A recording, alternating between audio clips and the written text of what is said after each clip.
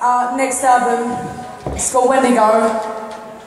And uh, yeah, thank you for being here. We appreciate it. And thank you to all the band that have been playing tonight. Can we hear something yeah. for all the band? Come on. I hope you all voted. Come forward now. Come on. Come on. It's not going to stop until you do it. You need to come forward. So yeah, this is some new stuff. This is Wendigo. See what you think?